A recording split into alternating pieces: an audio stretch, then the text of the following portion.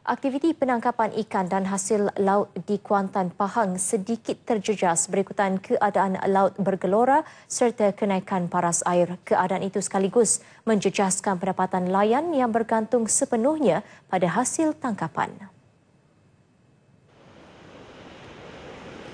Rata-rata nelayan yang ditemui memberitahu meskipun laut adalah sumber rezeki mereka namun keselamatan diri lebih diutamakan adalah sangat berbahaya untuk mereka turun ke laut pada musim ini.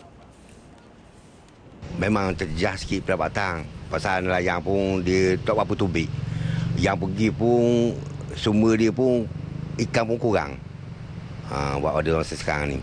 Eh, musim angin ya ha, payah maknanya pendapatan terjejas sikit. Kadang-kadang tayi angin tak ada angin linang ya. Ha, musim tak gelora boleh lah keluar.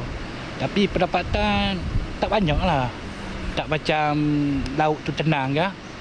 Ha, jadi sambil-sambil tak boleh pergi ke laut tu jahit-jahit buka apa beki-beki bot sikit. Ha, macam tu je lah Walaupun tidak dapat ke laut mencari pendapatan, namun mereka bersyukur dengan allowance sara hidup nelayan yang diberikan kerajaan sedikit sebanyak dapat mengurangkan beban mereka.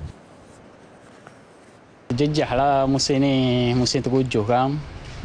Kalau tak musim terkujuh, tak ada benda. Musim ni hidup makan duit sehari hidup lah.